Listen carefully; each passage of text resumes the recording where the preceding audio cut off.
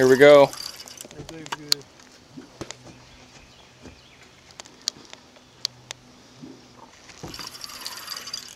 Yeah, Big Fish has got one. We're down here spoonbilling down here in Miami, Oklahoma.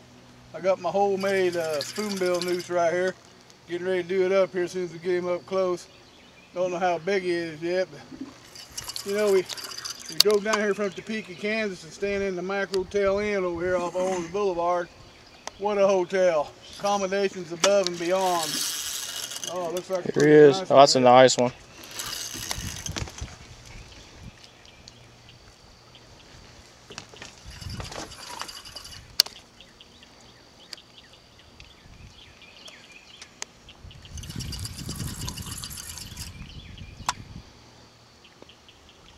Get, we got them anchor ropes out.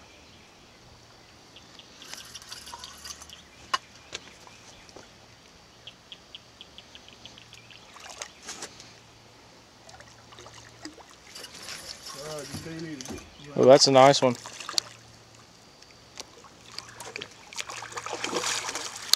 Zoom in on the fish here.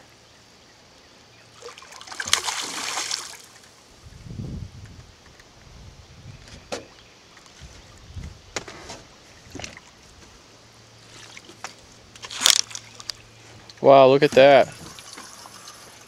Nicely done.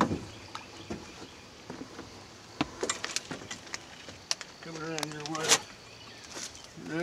Yep. Ooh, all right. Good job. Thank you. Yeah. That's how we do Looks it. like a pretty good one there. Oh yeah, that's a decent one. That's a nice That's a one. pretty neat tool right here you can get. Looks like you got him right in the side there. That is slick. I seen when you just put that thing right around him, it was Oh, you game over. Right here, uh, uh, Bill, you pull back like that, Yeah. that loose gets coming right off that fish. Look at that, man. Just like that. Pull that out there, wee big fish. Nicely done.